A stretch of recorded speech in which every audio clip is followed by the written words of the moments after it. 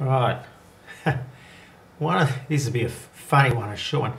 One of the reasons why I started doing these little videos was I was sick to death of too many shysters running little YouTube channels with literally like, you know, thousands of followers and thousands of views talking about the markets and they're full of shit. Right? And all they wanted to do is to get you to sign up to their shitty little trading courses, to sign up to their chat rooms, their systems, which they kind of boasted had, you know, 90% success rates. Those things don't exist. If they did exist, those little boy clowns in their rooms would be uh, working at an investment bank as a fund and be worth a gazillion dollars. Those trading systems do not exist.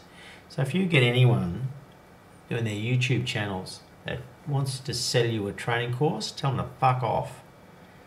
If they've got some trading system that they say is going to give you massive profits, tell them to fuck off, right? Those things don't exist.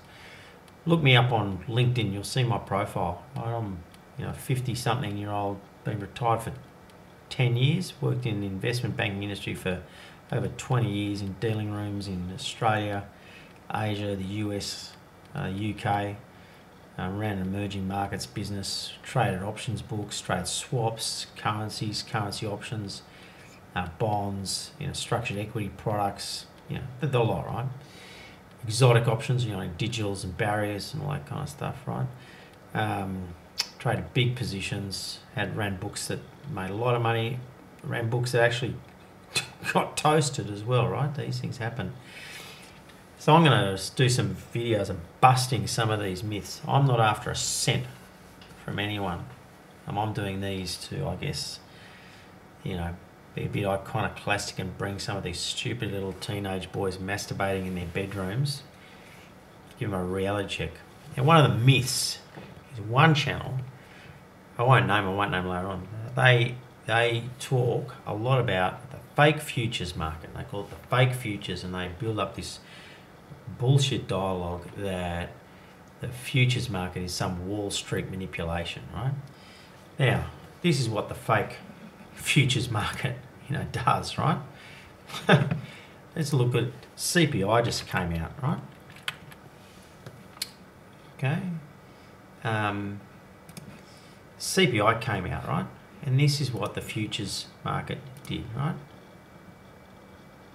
In the S&P, it dropped 1.3%, right? This is not a fake market. This is a real market. The futures trade basically 24 hours a day. The cash market trades from 9.30 till 4, I think it is. That's a third of the day. If you're running overnight positions right, and you don't have, and you're a short-term trader, and you don't have access to a futures account, you got rocks in your head, right? You are a sitting goddamn duck. This is not a fake market. And particularly in times like these when the market moves, look at this. Look at that gap. Right? This is the gap between, you know, four o'clock in the afternoon one day and 9.30 the next day, right? That is know, 16 hours, whatever you want to call it. Oh, you do the maths. Um, where there was like, you know, it's like a 35 point move, like a gap. If you're short options on this, that's a disaster. You know, that's 1% there. Now we're going to see, you know, this hasn't opened up yet. We're going to see, oh, we can just see it emerging here. Look at this, because the clock's just ticked over. you know, see how it's just filling in here? This is like, I guess, like just a bit of pre-market action. We'll see that fill out a bit. We're going to come back to that. This is what calling the futures market a fake market, in reality, this is where it leaves you, right? It leaves you naked, right? So this is one of my hobby horses. Like there's a lot of people out there trying to make money from trading the markets and it's a risky business and it is a far riskier business than people suspect, you know? And look at this. These are gaps, right? So you can go home, you can come home, you know, you can wake up the next morning, all of a sudden the market has moved by 1% and that could leave you toasted, right? It's a big move. And so the futures market, it, all these equity markets, these risk markets, they trade 24 hours a day. They trade globally. People trade these things in the Asian time zone and the European time zone and the US time zone. It's not a fake market. It is a real market. So when you look at the S&P, look at the futures.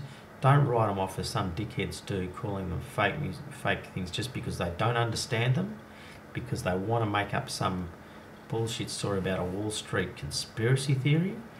Um, this is money that is changing hands, and if you're only dealing in the cash market, you've got overnight positions, you've just been screwed, not by some Wall Street conspiracy, you haven't been screwed by some fake futures market, you've been screwed out of your own stupidity, you know, for running overnight risk without a way to manage it.